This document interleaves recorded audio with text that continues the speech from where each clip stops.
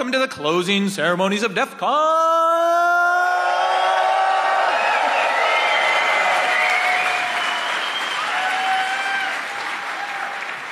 Okay, so you all noticed it was an experiment. I talked about it a little bit in the program.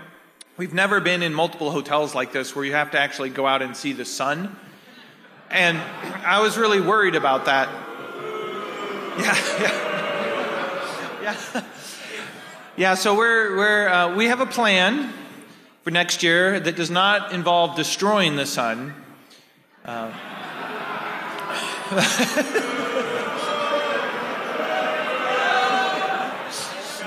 um, the orb, as I call it. Um, so, it's, uh, as I mentioned, this is the last time we were here. This is the last year uh, we're at Caesars, and next year we're back to some old favorites.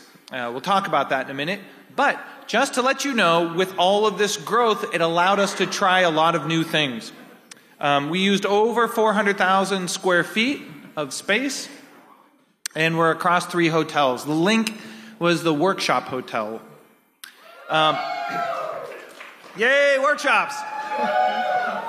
um, this year also was like a record year for people who made badges. It was crazy. We how many badges? Over a hundred different badges, and then we lost track. That's not even counting the shitty add-ons. And so, yeah, there's a lot. And so, um, one thing I wanted to say is at the last minute, I got this brainwave and I was like, you know what? I should start a museum for all these badges. Why don't everybody just give me badges and I'll put them in a museum? And that was a little kind of half baked. What I really should have done is set up an area, given you money, you've given me badges, and I would have this authoritative collection. But even at the last minute, over 25 of the 100 donated badges to me. I'll collect them, we'll have them on display for next year. And next year, we'll have a proper way for you, if you want, to sell us a badge, and we'll create sort of a, a whole history um, of the badges. Because I think it's really cool and unique, and I'm afraid we're going to lose some of that history, so I just want to start doing this year after year. So we're going to be doing that. Yay! So, for those of you in your hotel rooms or uh, in the speaking tracks, last year you knew it was kind of a disaster. We had a lot of wiring and cable and interface, laptop video issues. We lost 315 minutes of tra- speaking last year due to technical problems. And this year we lost around 10. Yeah. I don't think anybody even would have noticed, but since we're trying to be more transparent, um, there's 10. so we have a tradition here at DEF CON. Our number one, Paul Proctor, will be leaving our team after 20 years. Please, DEF CON, welcome, help us give him a toast to Paul Proctor. Cheers.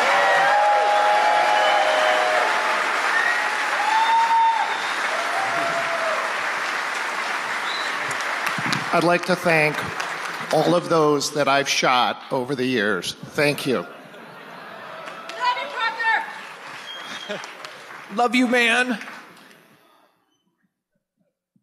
Okay, so we also started last year uh, this transparency report I, I wanted to do.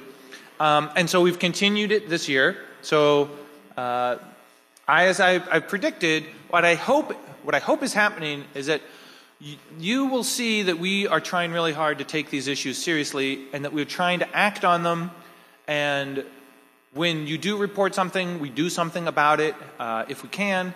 And so I'm expecting these numbers to go up year after year after year.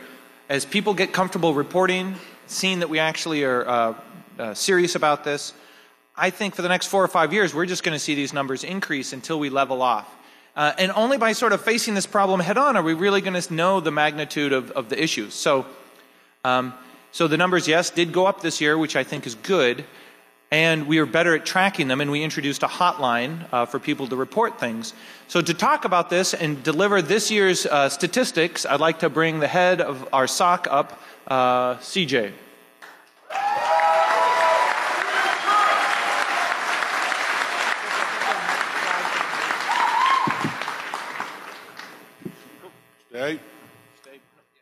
Right. Well, First of all, I want to thank all of our partners. I'm not loud enough. First of all, I'd like to thank all of our partners across all of our departments and across the hotel. We wouldn't have been able to be this successful without their help. So, the numbers. We had three reports of harassment, seven reports of sexual harassment, one report of, of sexual assault, seven medical incidents, none requiring ambulance this time, which is an improvement on last year. So either you guys are getting better at drinking or. Two reports of theft, three reports of vandalism, one case of trespassing, one case of the ceiling falling. Again. Again. One badge maker exonerated. One attack on the casino foiled. One dust storm. Attendees of other conferences thinking that we hacked them when we didn't. One. Oh, no. You, the staff one.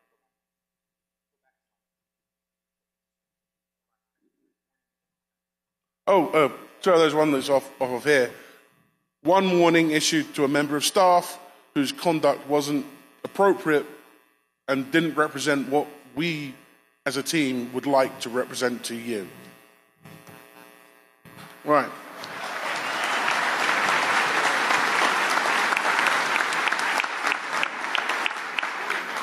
Sportline. We got 62 calls in total. 42 of those were general information calls asking where things were. it's kind of to be expected. But we did get three harassment calls, five sexual harassment calls, one call for medical help, and one, cons- one call of concern about drink tampering. And that is awesome. So we're doing it again next year. Obviously, we're going to do this again next year and we're going to scale it up. And I want you guys to use it more. Less information calls, please. We do have an information booth in lots of locations, but, you know, I understand. Um, at the same time, please trust us, call us. We've got trained people there to help you, and we want to help you. So, the next thing is, as you're all aware, there have been a lot of concerns about new processes adopted across the Las Vegas hotels. This isn't just Caesars, it's across all the hotels. Um, these, cha- these changes represent a new reality that all hotels have to face in their work to keep guests safe. We hear your concerns, and Caesars is an extremely receptive partner. They're already engaged with us and working closely with DEFCON management to figure out the best way forward for next year. And as soon as we have an update, we'll let you know.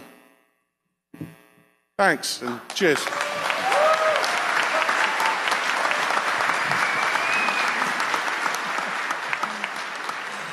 Even Tyrannosaurus Rex over here likes that.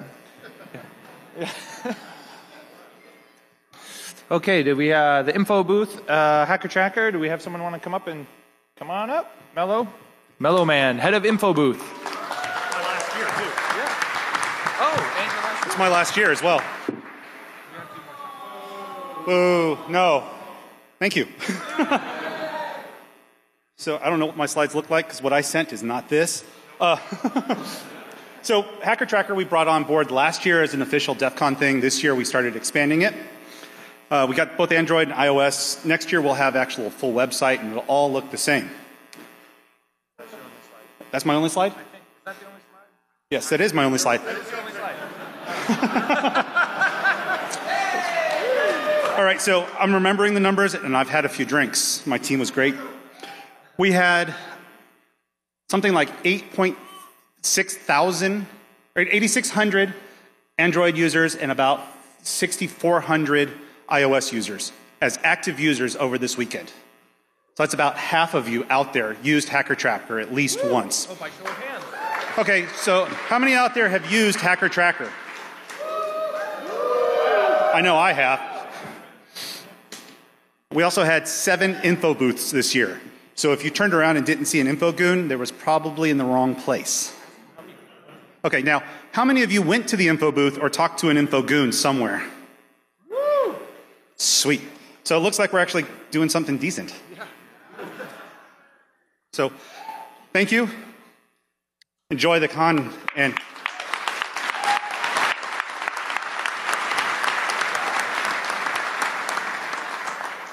Workshops. So those, some of those you might have noticed with the new hotel space at Links, we managed to expand the number of workshops. Um, and this is something we want to keep trying to do. It's just logistically takes a lot of work uh, and effort. But I'd like to introduce the person in charge of workshops. Hi, everybody.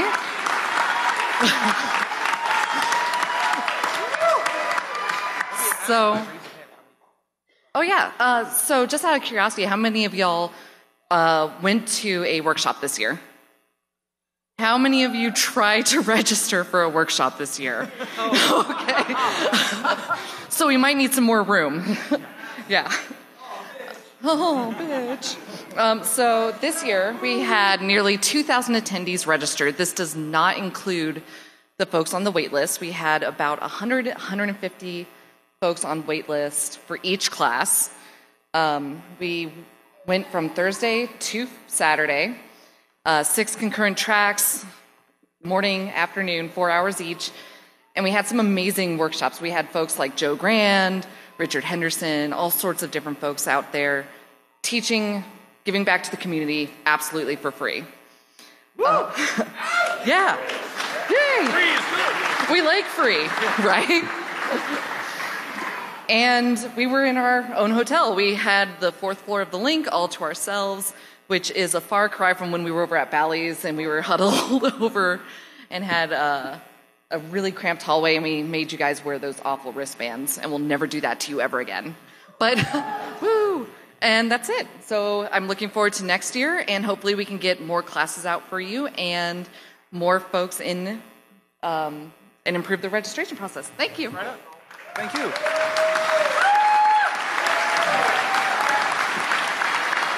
Okay, Effin, it's the NOC. Woo! One, just one thing I want to say is there's no amount of money in my back pocket that can afford the amount of bandwidth you want to use. So I'm done. How's it going, everyone? Uh, here to talk about the NOC. Hello? Okay, I have to see the screen. Hi. So, my name is Athan, and I run the NOC here along with Mac. And as usual, I'm going to go through some statistics and the interesting stuff that we did. So, we have two kinds of network here. We have the wired and the Wi-Fi. So Wi-Fi is mostly for all of you across all three properties, and wired is for everything else that is listed there. I'm not going to go through this. You can download uh, this presentation for the NOC later. So this is how the week went. We had the same amount of days and two more properties to take care of. And we started on Sunday, uh, basic setup. So whatever is green is good. Orange, more or less, and red, that, that was very hard for us.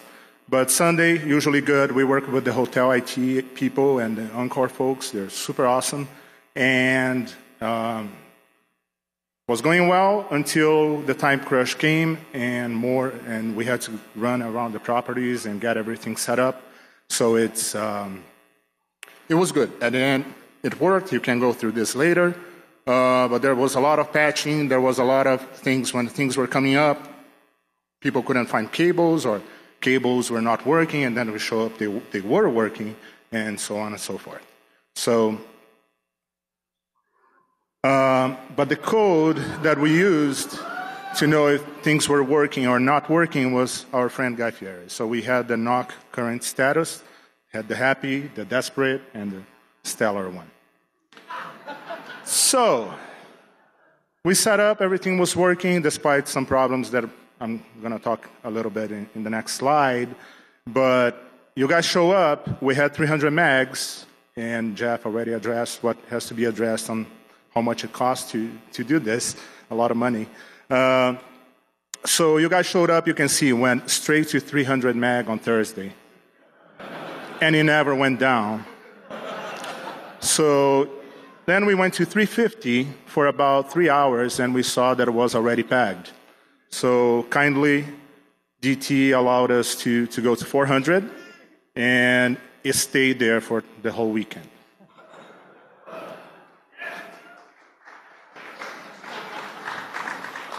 As usual, we have some challenges and, and, and issues other than the unplanned ones, right? So bandwidth is the usual one, actually. Uh, but some fiber connections, they were acting up on us uh, between the IDF and the MDFs, the IDFs and the MDF. Um, so we had a problem with uh, some switches that we swapped. Still, shit didn't work, and then we found out it was a power issue, but half of the, not half, but part of the hotel and the APs were not working. Um, then we had on Thursday somebody posted on Twitter, and thank you for that, uh, that multicast was leaking on the secure on the secure network to the other users. That was a configuration thing we fixed right away, but totally we overlooked that. Thanks for reporting your names at the end of the presentation. Appreciate that. Um, AP coverage and capacity, like this room with all of you right now, the internet is probably not so good, but it happens. And we had also new APs. Uh, I'm going to talk about that in two slides. And people still don't get 802.1x. I don't blame you because we have to fight through this, but if you follow the instructions, mostly, most of the time it works. And anyhow. So we went for a 10 gig backbone just like last year, but because of the fiber issues, we had to some places go down to one gig. Um, the internet, the internet uplink, I talked about that already um, here at Caesars. So all the other properties will talk like layer three to here, layer, layer three using IPsec tunnels. So everything goes comes here and then to the internet. We have one internet uplink. About the wired gear, not going to go through this, but pretty much the core, which is the firewall and the core switch and uh, the firewall, we had like three of those, three sets of those. Free BSD! FreeBSD! As for the wireless gear, we also had to have three, three controllers, and that worked well. And we got a bunch more APs to support the three properties. Thanks, Jeff. Um, so we had a total of 136 APs. The breakdown is there. Obviously, most of the APs are here at Caesars, 20 at Flamingo, 6 at LINQ. Not going to read this, but we doubled the amount of traffic that you guys use. So last year we had about four, uh, 5 point something terabytes, 9.11, which is a weird number to have, but um, but that's true up to like a few hours ago. Um, and there's like some more cool stuff. The other cool stuff is that we have 15,000 different uh, unique DHCP leases. That means that you guys stop doing like DHCP exhaustion attacks, and we really appreciate that.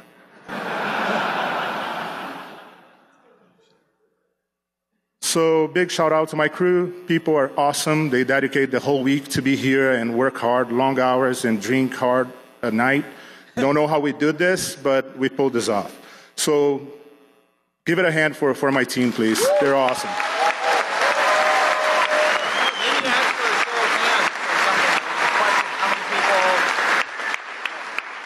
So in this room, how many people actually connected to the secure Wi-Fi?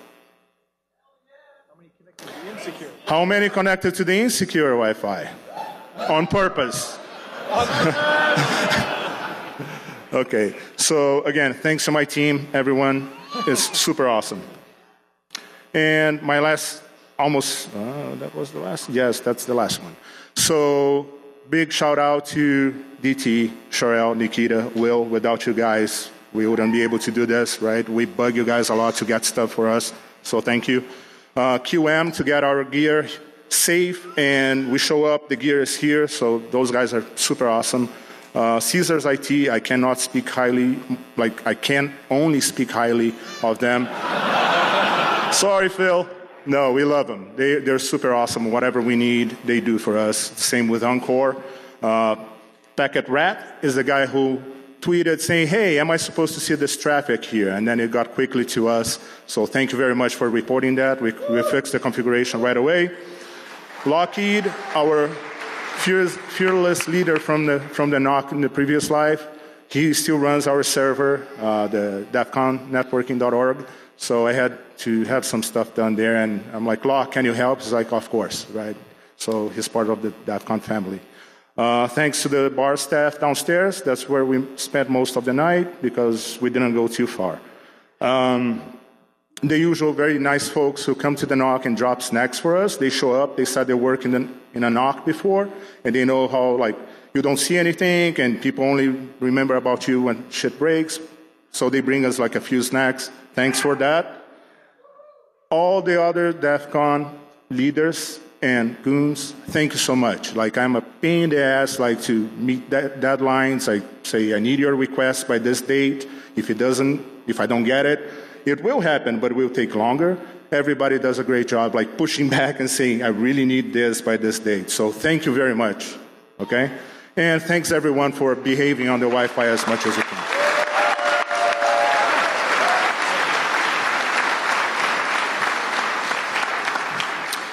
Okay, this is the first year where DCTV split out and became its own department, got a budget, and then spent it all on new equipment. So I'd like to introduce Video Man.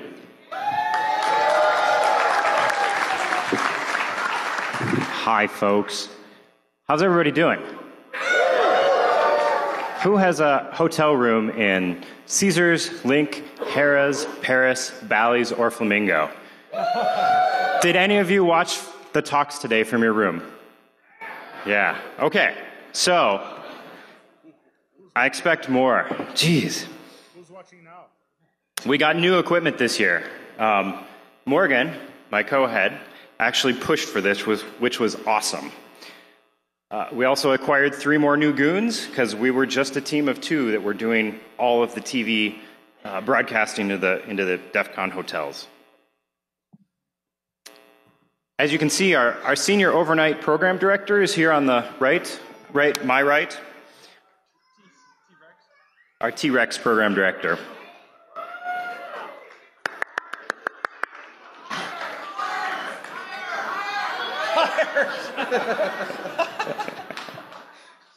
so, I don't know if you guys got here and we're trying to watch DCTV Thursday. Uh, it was only one track. Unfortunately, we had a little bit of problems with our hardware not showing up. Uh, we had over two months of work trying to get that hardware. Yeah, two months of work trying to get hardware, six shipments that we tried to receive, didn't happen.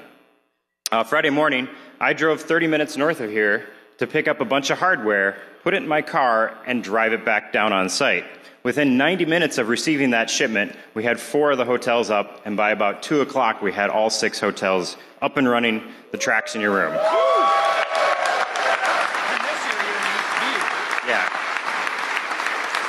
And Jeff, as Jeff points out, this year we're in high def, right? You can actually see all the slides, you can see the video in all the rooms. It's, it's awesome, it's superb. And I would say, also say that, um, whoops our, our volunteers here, our new volunteers, were a big part of that. We could tell them, hey, go do this, and like an hour later it'd be done, right? Dedication and, and the ability to just pick up and, and roll with things is very important. Raise your hand over there. Thank you.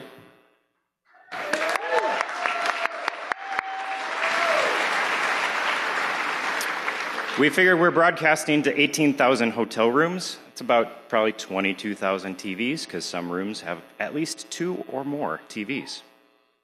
99.9% uptime. There was a little glitch uh, Saturday morning, but we figured it out. People were on the Twitters telling us, hey, we don't, we don't have audio. We were able to fix, figure it out and fix it very quickly. We also streamed DC 101 and Track 1 to the internet for the entire time that they were actually on, which was pretty fun. Uh, we, we figured out we got about 4,000 viewers online throughout the whole conference. Obviously, DC 101 was very popular. So, all right. Uh, so if you want, dctv.defcon.org is where the URLs will live when the conference is running. And you can hit us up on Twitter, DEFCON TV, DEFCON underscore TV. Thank you. We get up in the morning so you don't have to.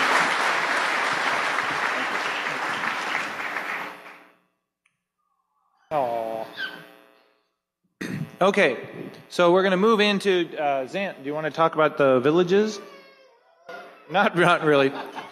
okay, so this year, uh, with the new space, we had the opportunity to have a record number of villages. And so uh, that meant Zant had to deal with almost double the amount of logistics uh, requests. And because a lot of the villages were new, the whole process was new. Um, so it was just a lot of uh, a lot of work, a lot of answering questions, a lot of setting expectations, and a lot of last minute room changes as we were trying to figure out what kind of space uh, some of the villages needed. So what we're really interested in hearing about is which villages worked and uh, which ones didn't, and we really want to uh, make sure that the, the winners uh, have the space and the resources to thrive. So I'd like to have Zant have some uh, have some words here. Thank you. Hopefully, everybody enjoyed the villages.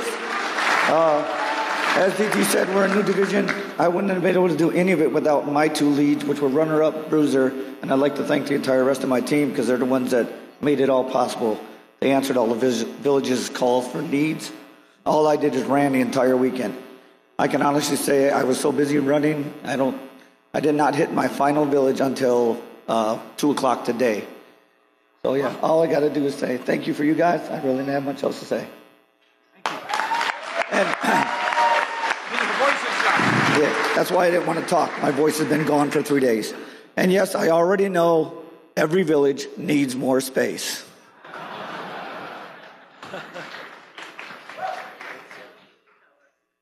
Okay, data duplication village.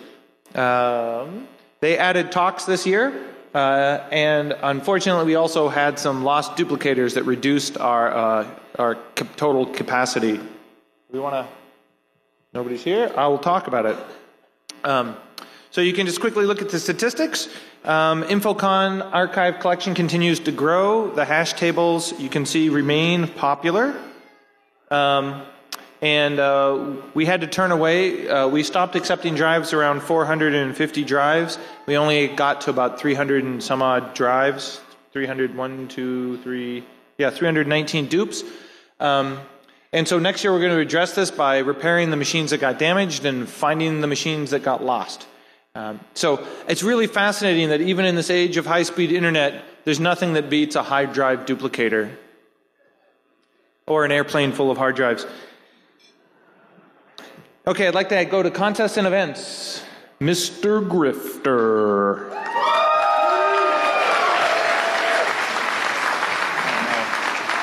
I don't know what that was. Made me a little nervous. Um, so, hi, uh, I'm Grifter, uh, the department head for contests and events. This year, I love you too, deeply. Um, this year, we had over 50 different contests and events. Every year, I always say um, when we get up here, if you guys have an idea for something that you want to do, that you just want to try out, it can be the most absurd thing you can think of. But if it has legs, then then we'll we'll add it. It has legs. Fantastic. See? Just fucking DEF CON, you know? Like, um, so we had we had 42 um, actual contests this year, 12 of which were new. So you guys really took that to heart last year. I got a ton of uh, of different submissions. We took a dozen of the best ones, and most of that was just due to space. I think we're collecting all the hotels on the strip, like they're fucking Pokemon cards now for DEF CON. So, um, so maybe if we got some more room for additional contests next year, hit me up. Uh, just send an email to contest at defcon.org and, uh, and tell us what your idea is. We'd love to hear it. Um, yeah, I guess can we get a huge, huge round of applause for all the organizers of, of the contests and events?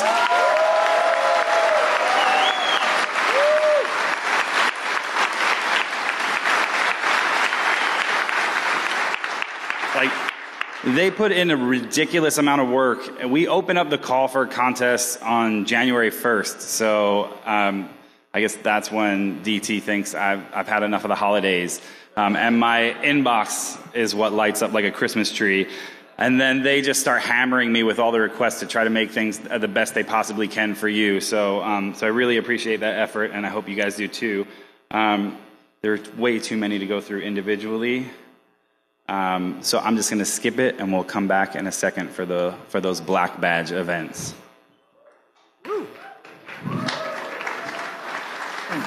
This year, um, for vendors, we had this, it's like we have more space, but it got absorbed very quickly. It was crowded in the vendor space. And here are a list of uh, the vendors and what we're noticing is this year was the first year we noticed um, we had to turn away some vendors that wanted to provide cloud servicey things. And we really had to explain to people no, you, you need to be sort of part of the community. You've got to engage with the community somehow, not just show up and give away a free cloud login to your vulnerability scanning platform. And, uh, and that pissed off some people. But if you can't, yeah, good if you can't show up and engage with the community, um, we'd rather have empty tables than full tables. And so we're always on the lookout. Yeah. so I had this uh, epiphany. It was, and I forget who, it wasn't really my epiphany. I, I read it somewhere, and I can't remember where I read it.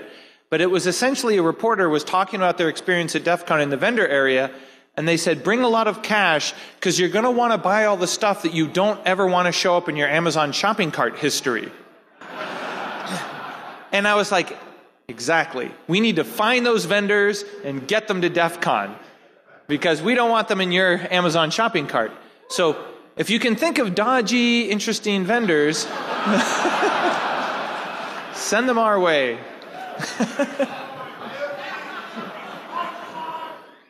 Okay, let's hear from the, the arts and entertainment. Do we have do we have the arts and entertainment here? Come on, guys, artists. Enter- okay, I want to try to wing it. They're still asleep. Oh, that's right. Um, besides the roof coming down for the second year in a row uh, during the fat base of Juno reactor last night, um, you can see our lineup this year. We always try to have a really uh, community driven track of artists from the community, and then we also try to find some cool, either retro or, or current acts that you might not normally uh, uh, come across, and we want to expose you to. And uh, and then we also try to release every year an audio, a music uh, CD or uh, original soundtrack. So, by show of hands, how many people appreciate or actually ever listen to the DEF CON music CD? Woo! Okay. Yeah, these people donate their music to us. We, we compile it, we master it, and then it ends up going up uh, for sale with the proceeds uh, going to the EFF. And, um, and we just plan to keep doing this until you guys stop caring because I think it's cool. There's really an intersection between sort of the culture and music. And you can see that by the number of bands and DJs uh, and acts that we have at DEF CON. Um, this year, Juno Reactor was awesome. How many people managed to see Juno Reactor? Yeah. So this was a big growing, uh, this was like the biggest name band that we've ever done. And boy, did we learn a lot. I mean, that you might not have realized it, but that lighting setup was fantastic. It was fantastic because it was like a whole project in and of itself just to get the lighting set up. Uh, corporate accounts to get uh, CO2 cylinders to fire off smoke things. Did you realize that the misting machine is the same as smoke and it will set off fire suppression systems? right? So you have to have fire trucks ready in the parking lot when you turn off the fire suppression system and a fire person standing there making sure it's not really on fire. And it's just like thing after thing after thing, just for some guys to get up on stage and rock it. And so I was so happy that everybody got to enjoy Juno reactor, and all I saw was like fire suppression, smoke detector, you know. It was crazy. I just, I just, I just want to. And the other thing that was super cool about Juno Reactor is they gave us permission to record it. So we're going to release it. Yeah, that's really cool. Every one of the other big performers have these riders that say we can't record it, we can't think about recording it, you know. Where Juno Reactor is fantastic to work with. So we're going to try to work with bands in the future that allow us to record it and release it.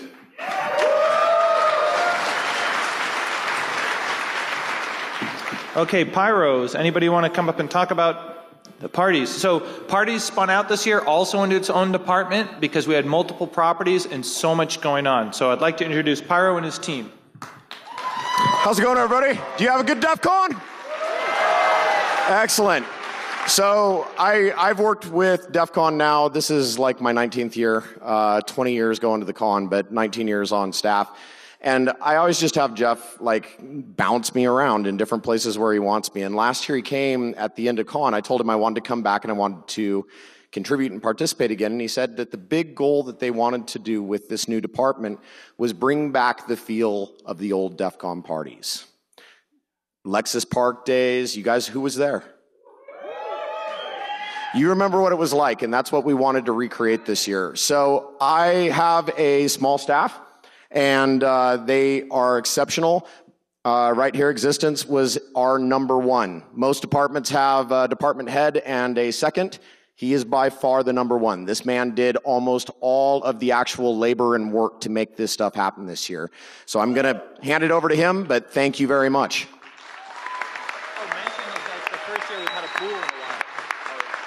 Except it failed. We had to move it. Not by design.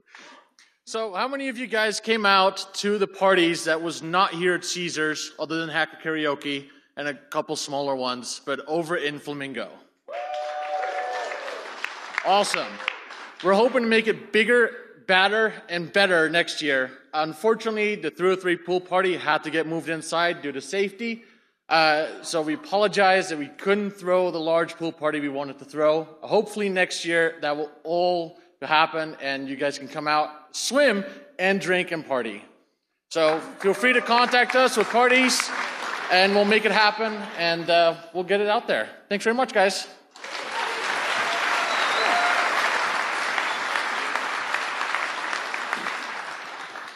Okay, so we're into the part where we're talking about black badge contests. So this is this is this year's black badge, and uh, I'll just tell you a quick little story about the black badge uh, for this year.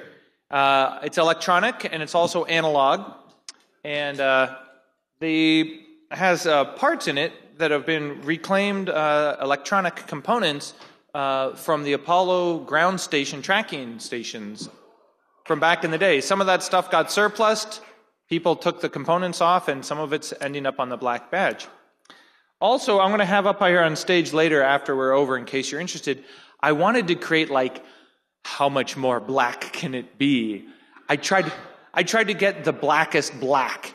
And uh, the blackest black is a black called uh, Vantablack and absorbs all visible frequencies. Um, but uh, you can't get that, sorry.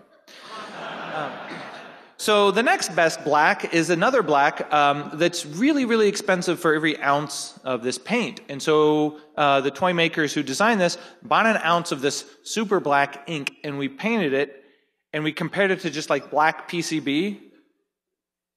Not really that different. so you'll see the side by side comparison, but we're like, ah, we don't want to really spend that much money for something where you, you can't, unless I told you that, you would never know. Um, so that's why uh, maybe in the future, if we can work something out, we might try to get a Vantablack. That would be super cool. Um, so black badges get you in for life. Uh, they're generally uh, they're always given to the winning team of capture the flag, and then after that, it's really questionable who gets to win them. We vary it by contest. Uh, Grifter makes the call uh, on who gets the contest, who gets one, based on the quality the amount of effort that goes into the technical complexity. Uh, and so I'm going to hand it over to him to talk about the badges and start handing them out. So, Grifter. Grifter.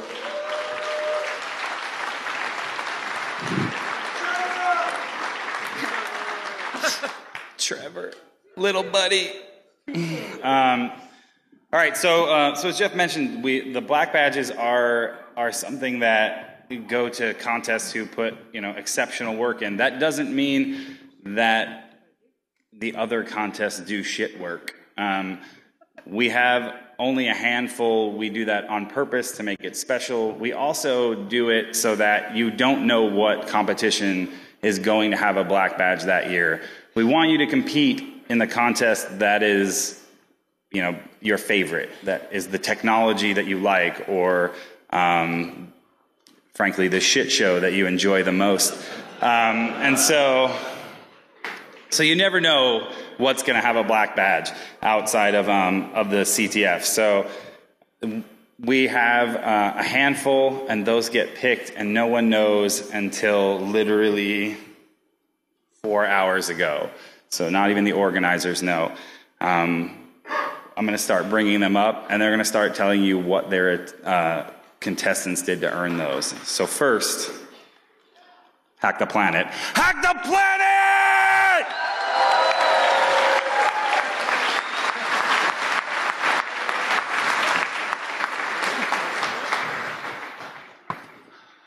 I'm uh, really, really excited to be able to say hack the planet on a DEF CON stage with a dinosaur in my ear. Um, I'm Beau Woods for ICS Village on behalf of the other founding members, Bryson Bort, uh, Tom Van Norman, and uh, Larry Vandenaweele. Uh, I'm really, really excited to be here to talk to you about our first ever Black Badge giveaway. Uh, if you didn't get down there to see us uh, and you don't know us, uh, there you go. ICS Village is, uh, we incorporated as a 501c3 nonprofit educational organization.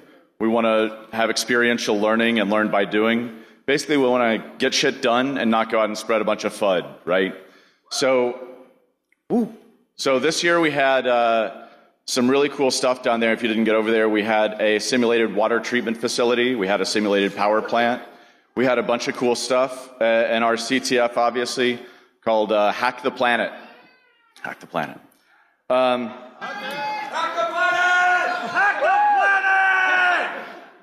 So we had uh, over a hundred different flags that we could run in this. We had over a hundred different people participating. Uh, it was really, really cool. Uh, we did a bunch of stuff. We had uh, ICS Rex, as we nicknamed him. Um, next year, we're, we're going to be back. We're going to be doing this again. Hopefully, we get another black badge. Uh, we're going to do it even better, and we'll have twice as much monster. So, our winners this year uh, it was really hard fought race, but we've got a couple that we want to point out. Number two winners, Rockettes times two. Raise your hand.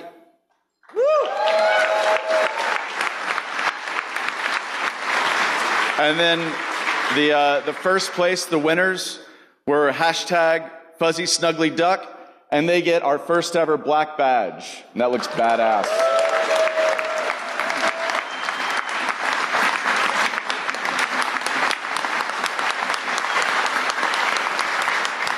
Thank you. Hack the planet.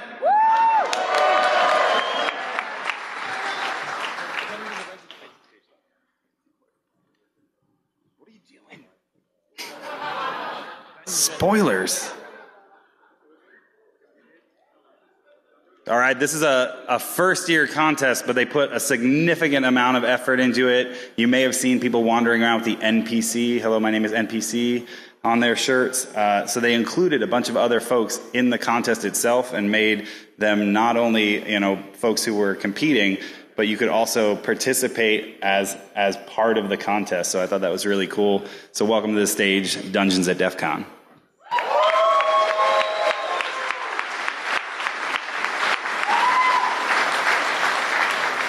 Thanks, DEF CON.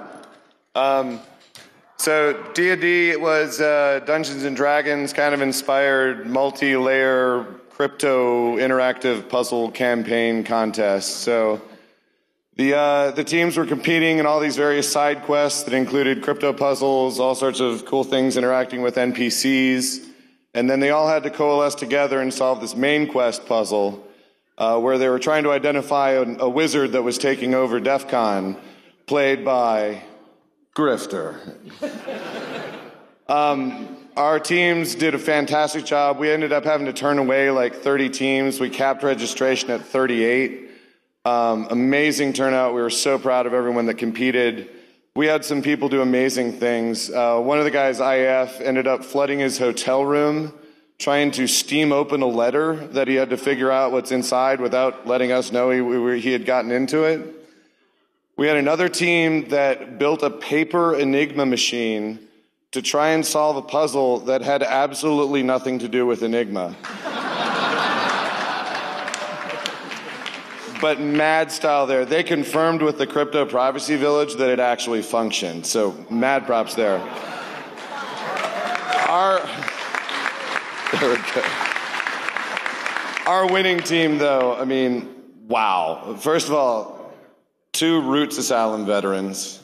So that lets you know the caliber of people that are coming out of that village, man. Watch out for these kids. Um, they just destroyed things. It was amazing. Um, and they have one of the coolest names, I thought. So our winning team, Murder Hobos.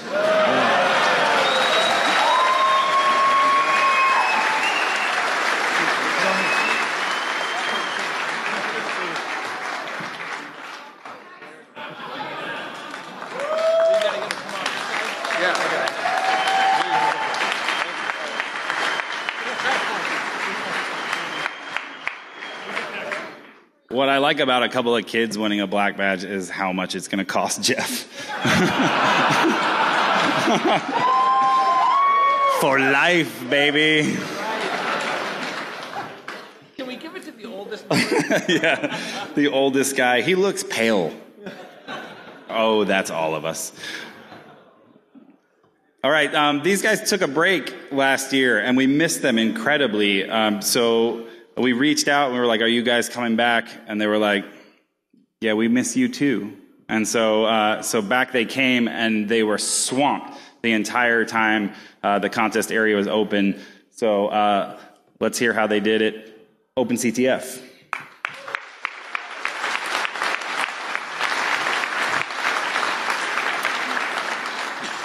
So OpenCTF was a collaboration this year between VAND and DC 562.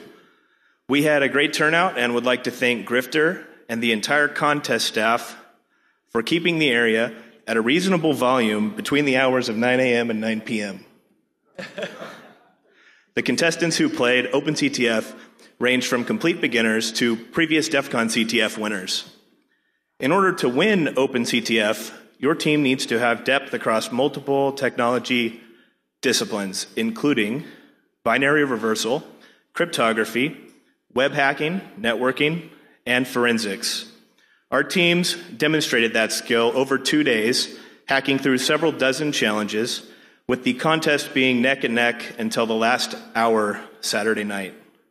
In keeping with the principles of OpenCTF, we would like to call out the three teams that submitted the best write ups BotchSec, Girls Taking Over, and Donkey Kick.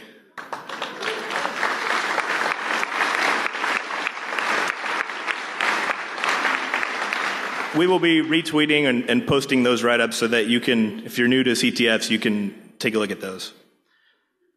And for our top three teams, in third place, we had Ghost of Brittany. For second place, we have an Open CTF regular and previous winner from Seattle, Neg9. Yep. They had a, we, we, released the source code to our scoreboard about four hours before the game ended and challenged the teams to hack it. They, they actually did and, and claimed those points, uh, which put them into first place with about an hour left. Unfortunately for them, uh, another team uh, scored at the end. And to introduce our winners, who were previous third place finishers of OpenCTF from Europe, not problem. Thank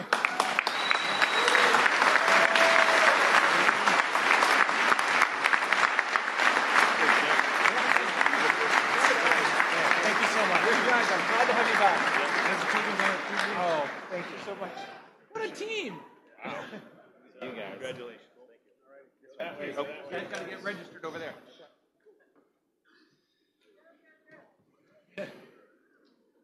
Oh, my sweet, sweet Hadnagy. Uh, they need no introduction. Social engineering CTF.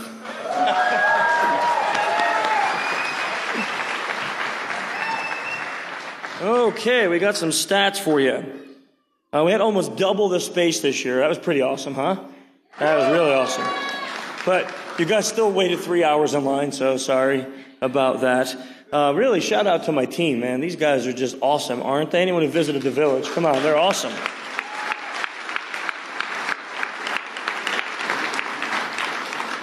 Okay, here's some stats on the competition.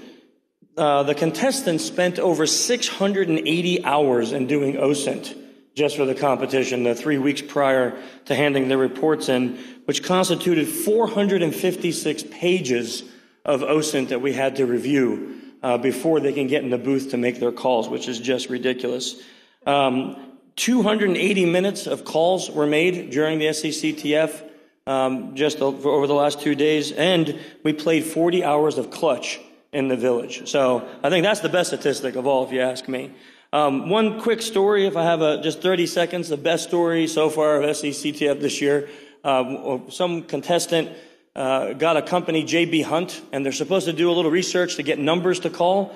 And he did research and found a person called JB Hunt, but he didn't know it was a person because when he checked the number, if it was real, the guy answered JB Hunt. So he hung up because you're not supposed to communicate before the CTF.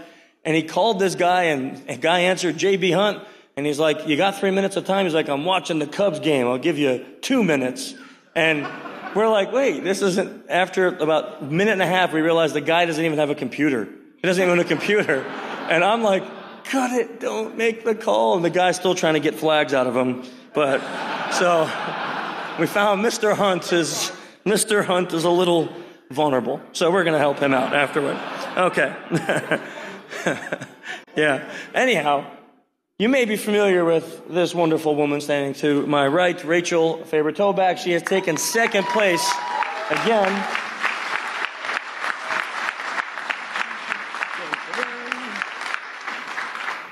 So we have a another one. You're going to have a collection of these. I mean, seriously, she has a wonderful little award plus a challenge coin for you here. Awesome. There you are. And and this is also another first for SC Village. Um, this is the first year where we had two women dominate the competition. Um, yeah, yeah, yeah. You may be saying, what? He's an ugly woman. That's because Whitney Maxwell, who won uh, the SCCTF first place by a huge landslide, she couldn't make it. She had to travel home. So uh, Patrick is here uh, accepting the, the things for her. So what we have for Whitney, by the way, this is super special, super special. Okay, I hope she likes bourbon. This is a TX brand bourbon. It's been customized by Human Hacker and something really cool. This is the first year SECTF t-shirt. I had one left. We sent it to them and they made it into a cap for, for the bottle. So yeah, this is an SECTF t-shirt. That's for Whitney. We get the awesome uh, human, ha- human hacker award for being the first place. And this is our ninth year doing this. So we got number nine challenge coin for Whitney too. And then, you know, Whitney's not here, so maybe I should just hold on to this for her. just, just saying. No, I won't do that. And then, of course, Whitney gets the awesome black badge. You are. We'll see you next year, guys. Thanks. Thanks.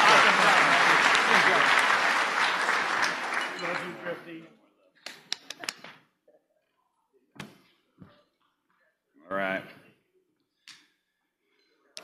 So, um, again, what, what, what are you pointing at? You're here. All right.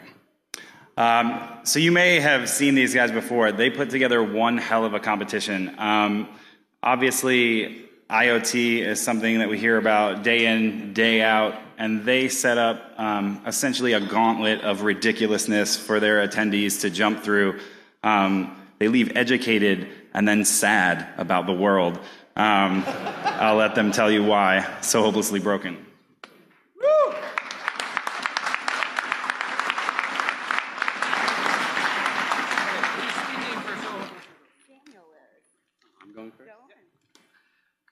All right, hello everyone. I'm so happy to be here. This is what our third. Yep. Okay, it's our third black badge. It's really awesome to be here.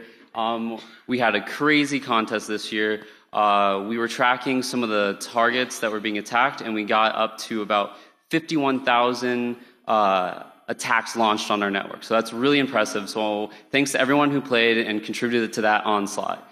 Um, I want to give a round of applause to everyone who played. So in third place with 37,000 points is uh, Quantum Blockchain. So congratulations to them.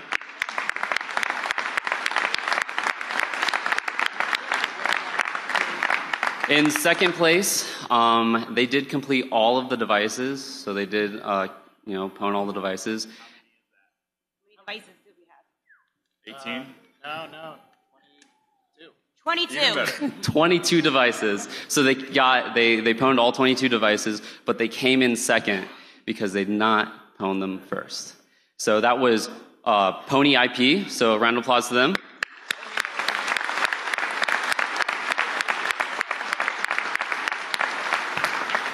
Now, in first place is a team that you know has been playing for a while, and they finally really, I think, you know, they got it right, and they had a great run this year. And once they got first place, Saturday afternoon, they completed everything first. Uh, they they were like, we're canceling our flights because we want to stick around just to see if we get to be on stage and receive a black badge. So thank you for canceling your flights and joining us on stage. Uh, is team Oh, Nop, Nop, Nop. X90, X90, X90. Congrats, guys.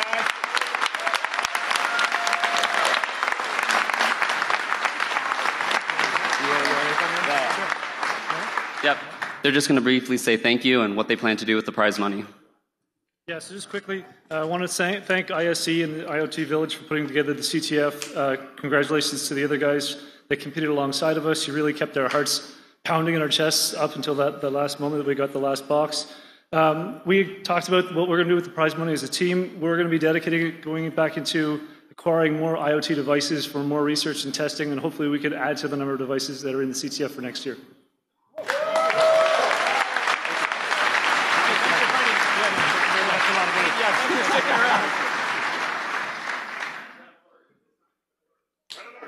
All right. Our next uh, first year contest and a black badge contest at that. These guys got so much praise from the attendees who um, were competing. They absolutely loved what they put together. If you made it into the contest area, this was uh, toward the back. There was a plane and a train, and once again, sadness. Um, so uh, we'll bring to the stage Red Alert ICS CTF.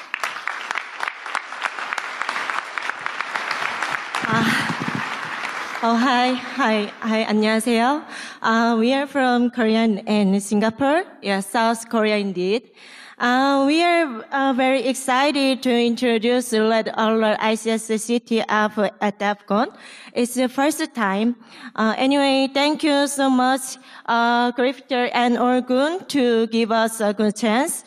Uh, this is CTF is based on real world uh, scenarios and uh, including simulation of aircraft, smart city, railway, and traffic sign, and also power plant.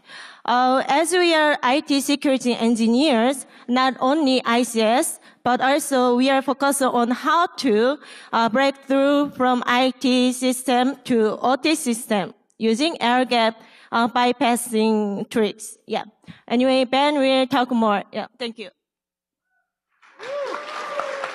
So uh, we had two and a half days of challenge. Our partic- participants they were very happy trying to play our CTF. So uh, yesterday we actually released a very special challenge, which is a DEF CON special. We had the teams uh, had, a, had to chuck down a beer in 10 seconds for 3,000 points. So, so four teams participated, uh, two team won and two team lost. So the two teams that lost had to lose 3,000 points as well. And our leader, which was the winner, they lost their lead yesterday after a two days lead. But eventually, today morning, they took back the lead and they are the first place. Yep. So,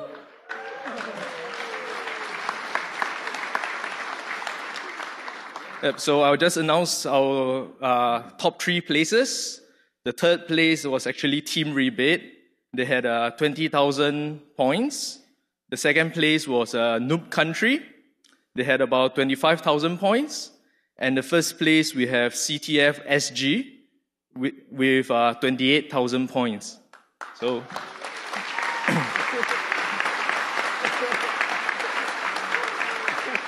so, so we have the winners here. And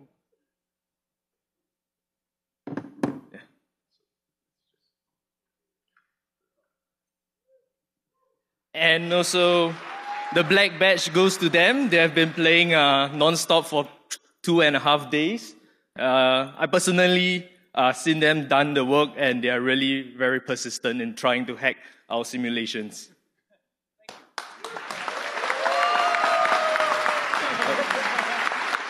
So.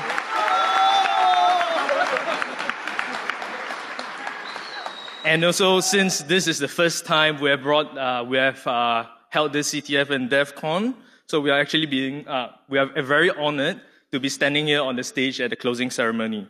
So we'd like to thank everyone that participated, came to our booth, and also Grifter, Brian, and all the other goons again. Thank you.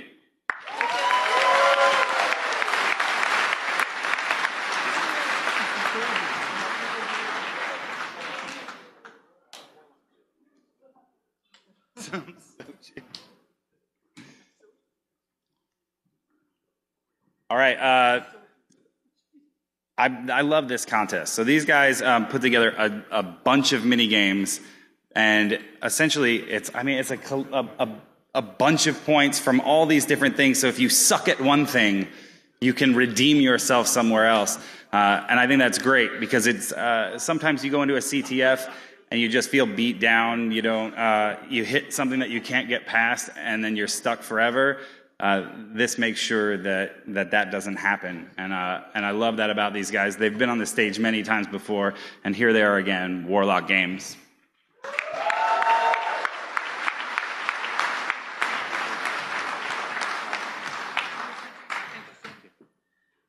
All right, good afternoon, DEF CON. Um, you know, you get to that point where uh, Red Bull uh, just isn't enough anymore, right? You need to find a different energy drink. So if anybody's got ideas, let us know. Um, it's been a long weekend. Rondo! Rondo. So, um, yes. So this is our fifth year uh, coming to DEF CON as a contest, and standing here on the stage uh, for our third uh, black badge is just as humbling as receiving the first. So we're very appreciable and uh, honored to be here. Special thanks to uh, Dark Tangent, Grifter, and uh, Pandero. So we started Friday at 11 a.m. and uh, ended Sunday at 12. We actually extended it two hours uh, so that we could get the last bit of points in there. So the kinds of things that we do are the things that you would expect in the CTF. There's the binaries, the reverse engineering, the web. And the challenges that these guys had to go after this year dealt with the Global Government Cybersecurity Enforcement Agency, because we all want to hack the government, right? Um, so they had to go against those guys and Torbot Enterprises uh, as part of their web services. Um, they had uh, to reverse engineer binaries, which were authentication tokens for the uh, govsec.agency. Um, so that was the on-board items. Then we had things at the table, the physical security side, right? So they had the lockpicks that they had to go after. And if you didn't do so well at lockpicking, you could always jump on the end of the table and play a few rounds of Fortnite. Any Fortnite players out here? Yeah, a couple. Not my game, uh, but uh, you know, my my uh, youngest son could probably uh, he, he definitely uh, has it. Um, so we uh, offered a lot of different points. we even had a T-shirt for DEF CON 26. We always get a T-shirt going. This year had a puzzle on it as well. So even if you can't do anything with all the other challenges, you could at least solve that and get some points on the board. Um, so our third place team scored 2,350 points, uh, and they actually led a good portion of the way, which was uh, uh, pretty impressive. They're a team uh, out of uh, Europe somewhere. Um, and uh, we won't specify exactly where they're from or who they are, but we've seen them before, and they played a fantastic game. that was Dank Memes. Um, I think they may have already departed. Um, our second place team with 2,425 points was Ambush. And uh, they played a phenomenal game as well. And the lead actually swapped within the last hour of the game. Our first place team, PTFS, with 2,550 points. What does that even mean?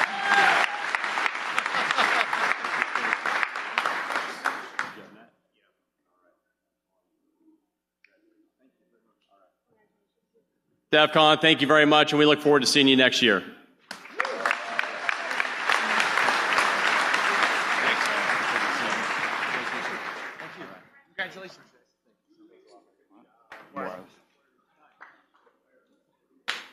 Are shaking your head no? Don't shake your head no. Just get up here. Wireless CTF.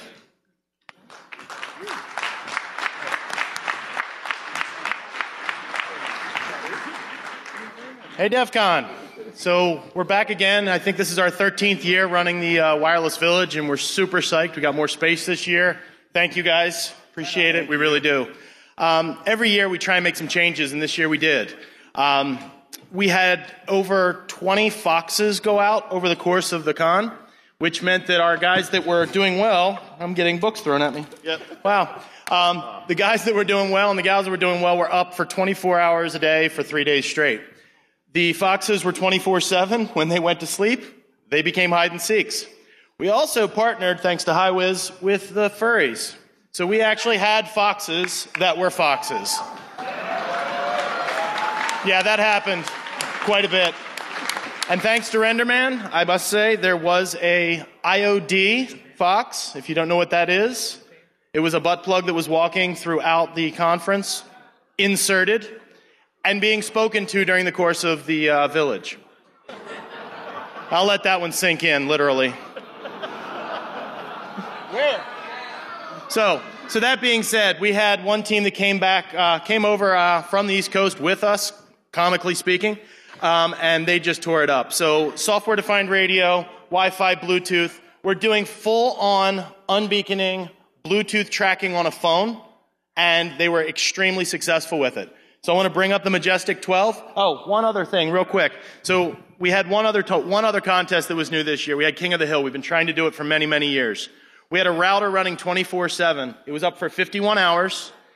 48 of those hours there was connections every minute. We had 3 hours of downtime for the entire conference of people trying to attack it. So we've just we've expanded quite a bit and we've done a whole lot. We've got some amazing sponsors and now we've got a black badge. So Majestic 12. It's ticking. I want to give this away. It's ticking. Uh, I would just have a couple quick words, and that's basically just install Pin 2. That's.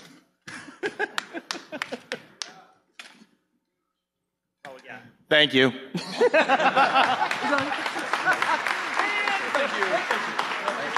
Thank you. Good job. Good job. I'm surprised you're still awake. Yeah, yeah. That's pretty impressive.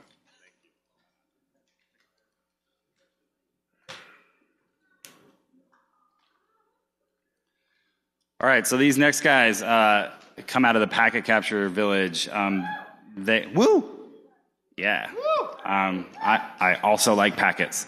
Um, so a couple of years ago, they asked, "Well, how do we become a black badge contest?" And they had multiple contests that were going on in there. And I said, "Well, all of these contests only take a couple hours for the attendees to compete in. So what, what we want for a black badge contest is something that you really have to invest time in." You hear about these contests where people compete all weekend or for some 24 or 36 hour stretch. So we were, um, we were discussing it and they were like, okay, I think we can make it harder. And then a couple years ago, they just combined every contest they had into one mega Voltron like contest. Um, for some reason, they haven't stopped making it harder. so every year they just up their game and up their game. And this year it was difficult enough to knock out um, some really veteran competitors. So I think they may have found the right spot. So uh, up here to talk about it, capture the packet.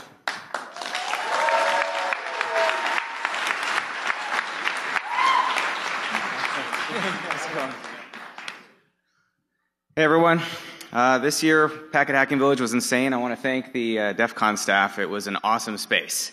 Um, one thing we, uh, we kind of noticed, you know, in, in the terms of villages and, Uh, anything under a thousand is a village. Anything over that is a town. And I think we've hit town because we're crushed in that space again. How many of you were at the Packet Hacking Village at one point? Right by raise a hand. All right.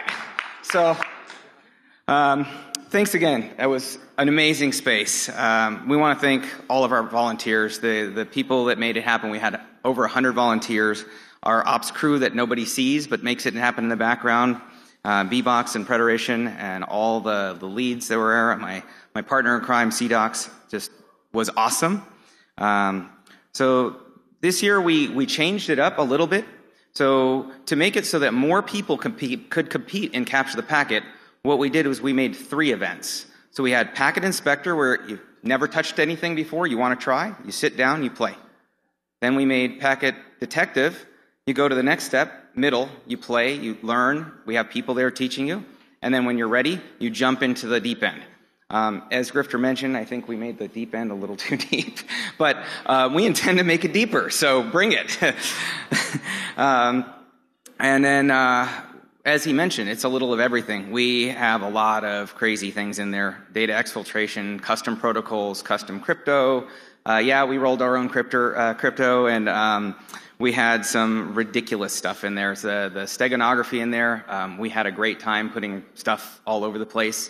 Um, and out of the entire conference that played it, all, you know, the hundreds of people that competed, we only had 26% of the challenge solved. So maybe a little too hard, maybe a lot. What do you think? Keep it there. Be mean. Torture. Yeah? Okay. Keep being mean. Noted. uh, so, so we had, we had uh, companies coming up to us through this whole thing and like, will you share the winners with us? We want to hire them. so not giving out any information to anybody. We'll let them know, hey, there's people that want you, but no. Um, but we had uh, this absolute awesome team. They competed a couple years ago and won prior to it being a black badge and, you know, had the pouty face and they came back year after year and they finally got it.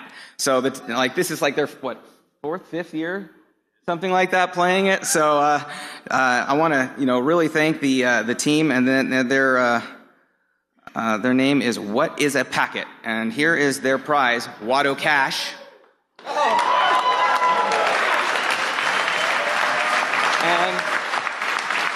black badge at that. All right. Thank you guys. Yeah. And one, yeah, one last thing for Wall of Sheep. Your APIs are leaking like hell. See ya.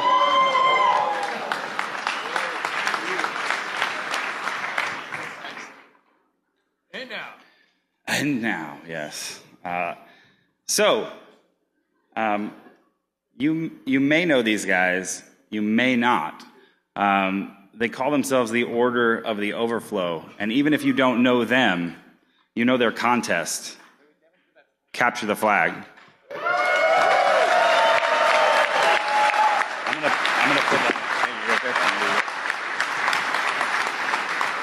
Hello, hackers. I'm Zardus, and this is the Order of the Overflow. We have been here among you since DEF CON 9. We have been playing CTF since DEF CON 12. We were raised in this community. And now we are professors, freelance hackers, engineers, and we are still here every year playing DEF CON CTF and now hosting. We played DEF CON CTF for a long time, and when Legit BS, the prior organizer, stepped down, we felt the call to step up and uh, carry on this tradition of an awesome game for some of the best hackers around. We had three guiding philosophical principles. One, we wanted to be inclusive. We wanted to raise the inclusivity and the positivity of this community. Uh, two, let me look them up. Uh, we wanted to be inspirational. We want to inspire the next generation in a similar way that the amazing hackers we saw as we were walking around DEF CON 9, completely clueless, inspired us. And number three, we wanted to innovate responsibly innovate the game into new areas, new formats, new types of challenges. And so I'll talk a bit about the innovations that we did uh, this year. Um, one was kind of uh, scooped a little bit uh, by an earlier CTF. We integrated cap- uh, capture the flag. We integrated capture the flag. Uh, we integrated King of the Hill uh, and attack defense services together. So in traditional attack defense, teams attack each other to steal information um, and try to defend themselves against the attacks of other teams. With King of the Hill, teams additionally had to create the most elegant or the best solution. Uh, additionally, we uh, try to have a much, much higher emphasis on raw hacking skill. Uh, to do this, for example, we delayed the release of network traffic significantly to force hackers to come up with novel, original exploits instead of script kidding them off the wire. Um, Right. And third, with the rise of automation, the Cyber Grand Challenge recently, and all of this uh, awesome new technology, which is really cool, it has become much harder to actually tell where the human skill ends and the automated skill begins. In many contexts, this is great, but in CTF, we wanted to find the best humans and identify, even among them, who the best hackers are.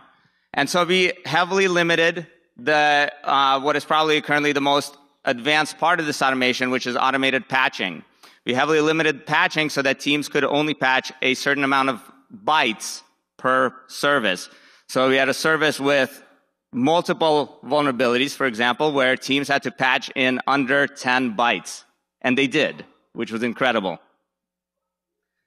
So, uh, with all of this, uh, of course, we had to keep uh, DEF CON CTF as an, this awesome top CTF. Uh, and with this came some traditions, which uh, we embraced. We had multiple qualifying events, the best CTFs in the world, from which the best hackers in the world qualified for DEF CON, um, hosted by awesome, amazing conferences and awesome, amazing uh, teams. We had our own qualifying event, uh, and overall, uh, over 600 teams played in our event, of which 24 qualified together with the prequals. Um, and then we made this game, and uh, it was an absurd amount of work. Um, and uh, all of these uh, fine hackers can complain about it a lot more than I can, but we haven't slept in you know six months. Um, we, uh, of course, had issues uh, with our first year running this. Uh, it turns out when you invite the best hackers in the world and you invite them all to connect to your network and you invite them all to attack everything, uh, shit catches on fire. Um, so we had this awesome uh, situation, set of situations where we would be fixing stuff as it was burning, uh, and overnight the teams would be hacking things and we would be fixing things and then in the morning they would hack the things we fixed. It was pretty incredible. Uh, so everyone had a great time. Before I get to uh, announcing, oh yes, and we captured, of course, all the packet uh, traffic. We captured all game events. Uh, we uh, accumulated an enormous amount of uh, data overall that we hope will be very useful to the community going forward to analyze how top hackers perform. Um, so before moving on to announcing the winners, um, I'd like to uh, give special thanks to a number of uh, people. Uh, for one thing, the entire DEF CON crew uh, and the goons, Forcus, Brian, Grifter, Dark Tangent,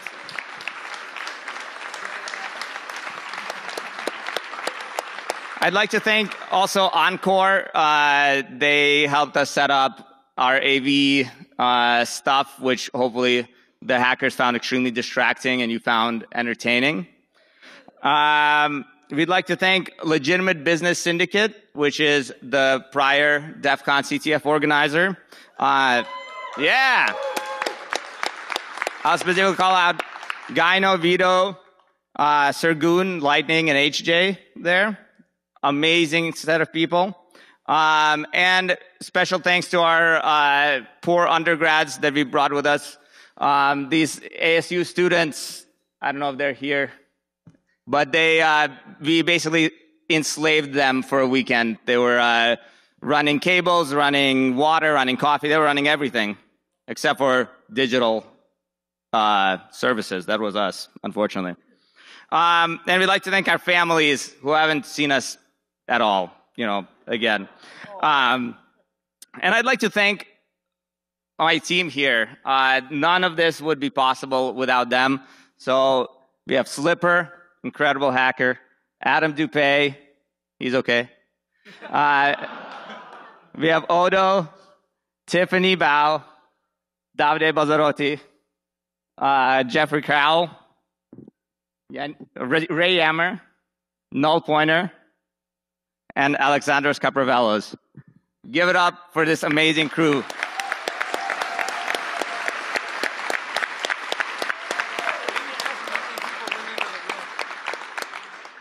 So, we had a, a- an interesting issue this year with the room. We had to fight with uh, the fire marshal, and we had to fight with um, the, that balance of trying to get people in the room without getting the event shut down for risk of everyone dying in a fire.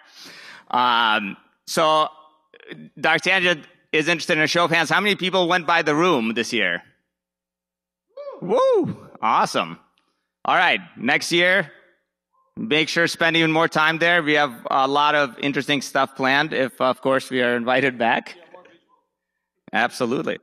Um, all right, so I'm going to move on to announcing the winners, but as I do so, keep in mind that you can be up here as well in a couple years with enough practice, enough work, enough perseverance. You can take their place and you can take our place. You're the future. Yes, please take our place. All right.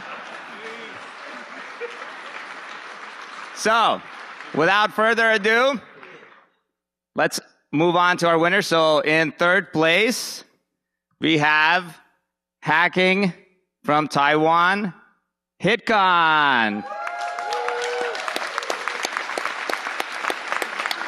So, third place, just wave. Oh, all right. We're doing it. Third place, run through, jump around. Good job. Here. High five. High five.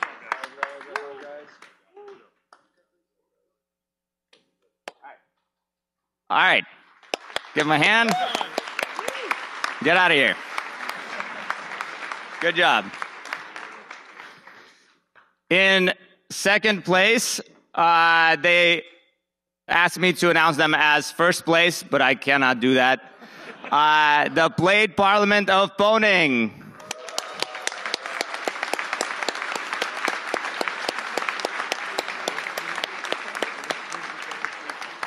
Good job, guys.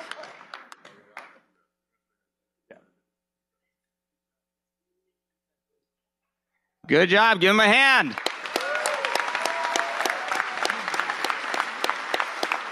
All right.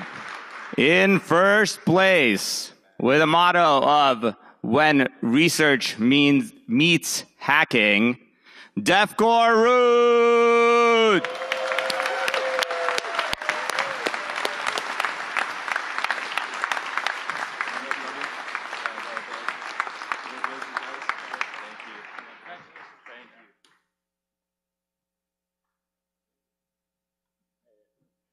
All right. So we will now uh, confer the black badges onto our winners. There are more than eight of you here. Um, we'll confer the black badges onto eight of these uh, brilliant hackers. So give them one more round of applause.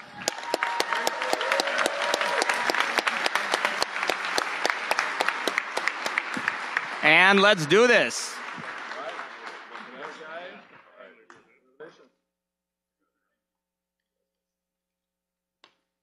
Final round of applause for DEFKOR00T.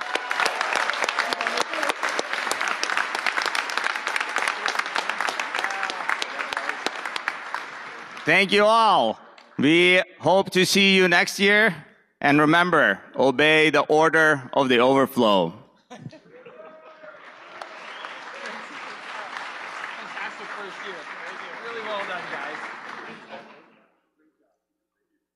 I they're living. Get my that phone back. I was going to say, is that yours? It's ours now. Um, so again, uh, thank you to all of the organizers and all of the contestants, um, not only um, for you know designing and, and competing and all these things, but also for creating a really cool atmosphere around DEF CON when you see these folks uh, and the level of focus that they have, whether that be um, you know on hacking some of the most complicated systems that these guys can craft for them, or the dedication they put into a tinfoil hat. Um, you know, we love we love seeing it, and uh, and it makes us love DEF CON. So thank you again.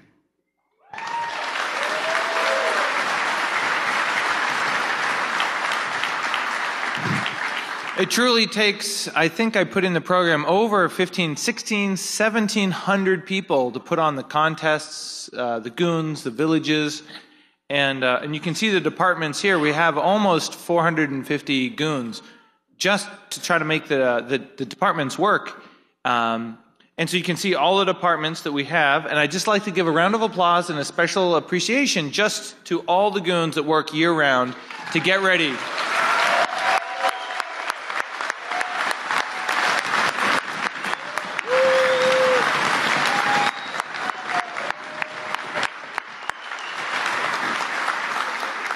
So when, when people talk about it, we really exist to try to provide that platform for everybody else in the community to run their event. And you can see it takes a, it takes a lot of people um, and a lot of dedication. So we have uh, some goons on the way uh, retiring, and we have some new goons coming in. And we just want to call out um, the black ba- or the gold badge. When we retire, when you, when you retire, let me rephrase this. If you've served for 10 years, uh, DEF CON, for more than 10 years, you get a gold badge. And the gold badge sort of acts like a black badge in that um, you put in your time, you've got the scars, um, the psychic wounds. Um, and so you, we will bring you back. You can come for life, right? You're always one of us um, uh, when you're with the walking wounded of the goons. And so um, I just want to say uh, thank you to all the goons of the past that have uh, done that and retired. You're always welcome. And then I want to welcome the new goons who don't know what they've gotten themselves into.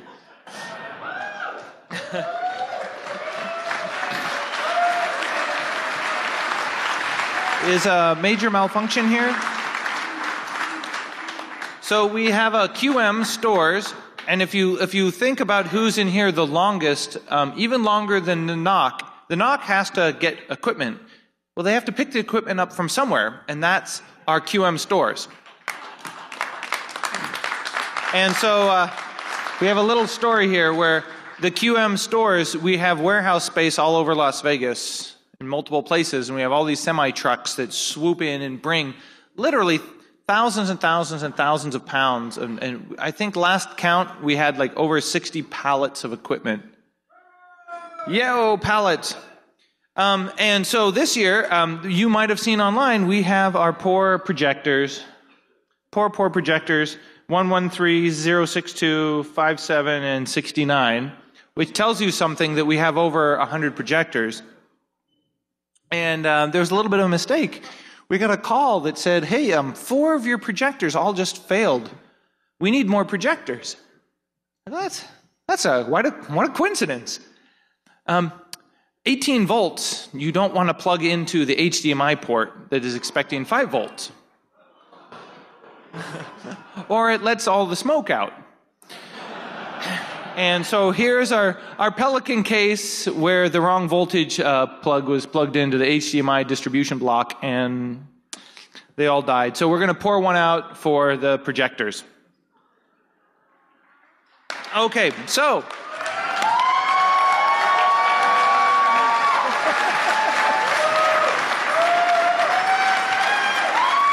Yeah. So uh, next year we're going home. We're going home next year to Paris and Bally's, a place we know and love. Um, except we've kind of grown up a little bit, and so we've had to expand a little bit. So we're plugging into Planet Hollywood. Yeah. So instead of forcing you out into the orb for 10 minutes or so, we're hoping we can get that down to like maybe a minute uh, less cancer. So next year, we're hoping to have more square, the same or more square footage, uh, three hotels, maybe a fourth if we have to. But we're going to be back at the Paris Bally's, plus Planet Hollywood, more hopefully workshops, and uh, that is what I've got to say. Oh, one last thing that's not on the slides. In case uh, you're keeping score, last year I talked about this desire to expand the DEF CON culture overseas, and we were talking about maybe doing a DEF CON China. We did that. It happened. Those are the people that actually win. Um, so we tried a DEF CON China. It worked. We were planning for 600 and we got 1400. It was a huge success. And so don't be afraid. We're doing DEF CON China again next year. Uh, we want to get you involved. And so we have DEF CON China t shirts here that are like electroluminescent and they light up. We don't know yet. Yeah. Yeah, yeah. and so uh, our friends over here from the other communist nation of Cuba is jealous that the nation of China has, uh, has got us. So our other communist overlords here want us to come to Cuba. All right, thank you so much. I don't want to say goodbye, but I have to say goodbye. We're going to put everything online. We're going to get everything and I hope to see you at the bar downstairs. Thank you so much for an amazing year. DEF CON 26 is over.